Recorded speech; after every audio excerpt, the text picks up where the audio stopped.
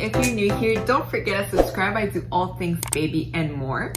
Today, I'm gonna be doing another DIY project. This is my DIY series. As you guys know, I'm going to be decorating for Christmas very, very soon. Today, we're November 18th. So this weekend is gonna be an explosion of Christmas. So far, I've been doing a couple accents here and there for Christmas just so you know my family can get into the spirit before slapping them with a lot of Christmas decorations. So today we're gonna be doing some um, decorative cone trees. So the Christmas trees that you see on, I think you can find it at Target. I personally found mine at Winners, the sparkle ones that are just filled with glitter.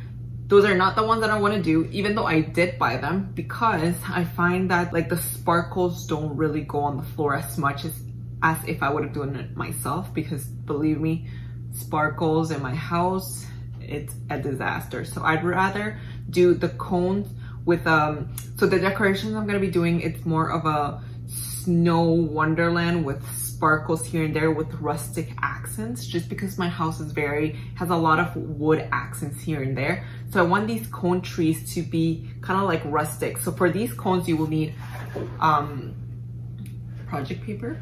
The ones that cost like 79 cents jute rope so they're basically these I got these at the dollar so I got two I might need one more tape hot glue gun scissors a ruler, and a pencil. And actually this right here. Okay, so I'm gonna measure out. Actually, I wanna see how I can use the most of my paper.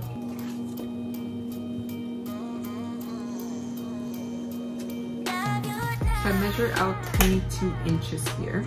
I have this um, ribbon that I use for balloons and I'm just gonna cut it to the same size, about approximately the same size.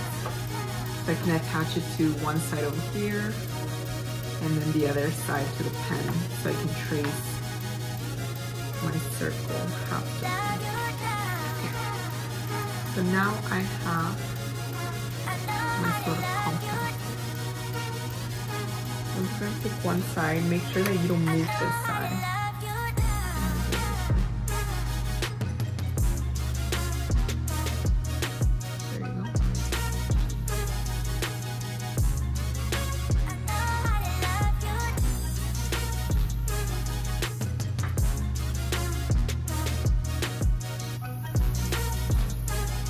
So I've traced the sort of one quarter of a, of a circle and now we're gonna go ahead and cut my piece.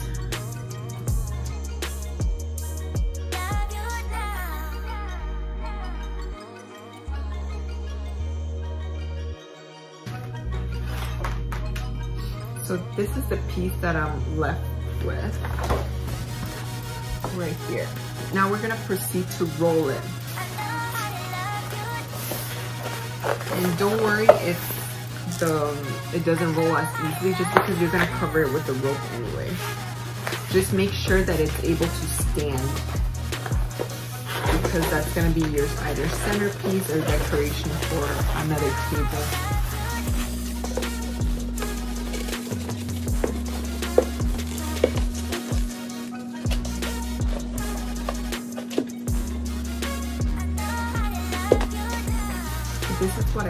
What I have. It's exactly the length that I wanted in the width. You guys can always make it bigger as in length. Actually, the length you can't really control unless you cut it the exact length that you want. I'm gonna measure it to make sure that it's about 22 inches. Um, but this, you can either make it, as I mentioned, bigger on the size or thinner. I kind of want it thinner because it gives it that like longer look. I'm just gonna fix here the top as you guys can see. You wanna make sure that that's closed as well.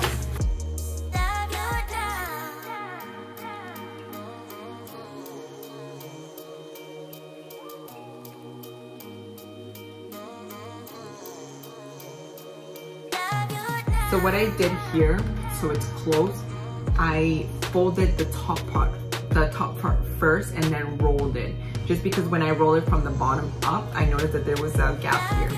So that's the approach you guys want to take. So now I'm gonna proceed and secure everything together.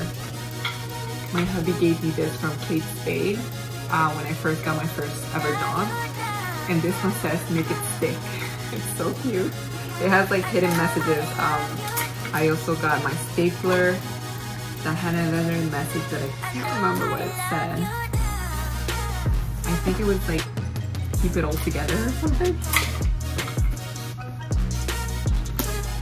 So as I mentioned, once, if you haven't secured it completely, you can always play around to either make it thinner or thicker, depending on what your preference is. I just like it this way as well that it's not crooked. I think I'm gonna secure the inside as well, because I wanna really make sure that this doesn't open up after I put the rope around it and everything. Awesome, so this will be the base that we're gonna be working with. Now we're gonna go warm up the hot glue and we're gonna put the rope around it and see the final product. I'm just gonna measure out, make sure that it's 22 inches in height because that's essentially what I was trying to achieve. And if it is, I'll be really, really proud of myself. Wow. It's honestly 22 inches. I don't know if you guys can see. I honestly didn't have faith that it was gonna work, but it did. So now let's proceed to hot glue the heck out of all of this. With hot glue, you really have to act fast because it dries pretty, pretty fast. We might be here for a while, so might as well put your favorite show on and enjoy the ride. Again, I'm not gonna put this too close to the edge just because I don't want it to tilt my um, tree because I made it, I made sure that it stands properly and it's not crooked. If I have enough rope, I'm going to make a tiny little tree for my daughter's um, kitchen because we always decorate her little kitchen depending on the season. So for Halloween, we put a little pumpkin. Now for Christmas, I want to put a little tree. 2,000 years later.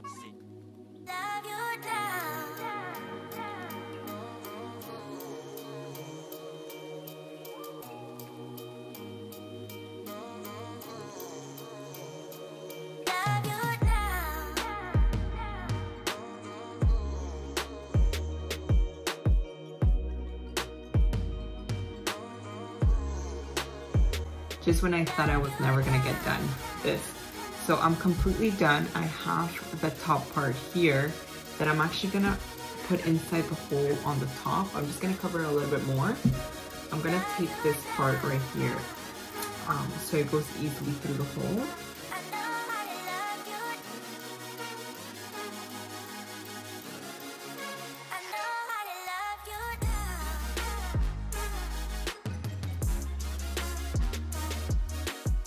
Okay, so I am finally done three ropes later. Oh, my hair.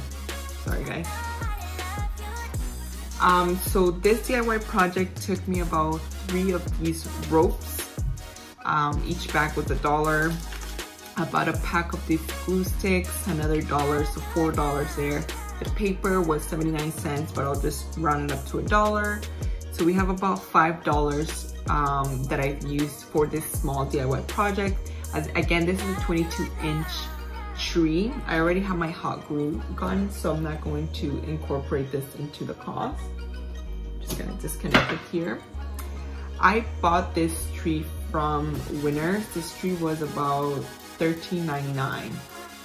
It's smaller than this one. I even got the bigger size of this one because that's the contrast I want to make in my house, the sparkle and the glitter versus the rustic type. You can see some type of discoloration here, but I'm pretty sure with time it will go away just because I, I use two different types of rope. So before you start a DIY project, if you want, buy the ropes that you're gonna be using for the 22 inch. I use three different types of ropes and check the colors. So what I'm gonna be doing, the, the 22 inch version of this was about $20. So this is like a fraction of the cost, literally. So this is kind of like the look I'm going for. You know, this contrast. Just because I really, really like it. I'm gonna go ahead and use the remaining of the paper that I have from this tree to make a smaller tree for Olivia's kitchen. And I'm also gonna use some of the rope that I'm gonna use for Olivia's kitchen just to cover up here at the bottom. But so far, I'm actually really impressed. And the tree itself is actually pretty heavy. So I know it's gonna hold still pretty well. So I'm very, very happy. Let me know if you guys try this DIY project. Let me know how it goes, uh, what the final product is. Do tag me on Instagram. I would love to see it. I'm just gonna go ahead and do the small tree. I'm just gonna put it in a fast pace so you guys can quickly see what I'm gonna be doing.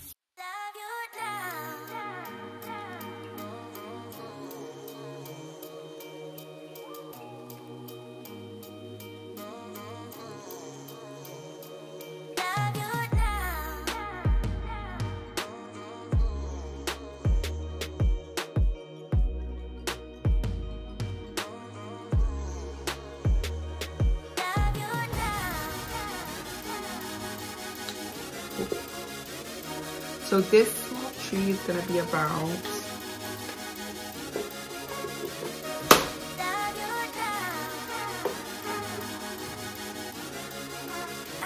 This small tree is about 12 inches.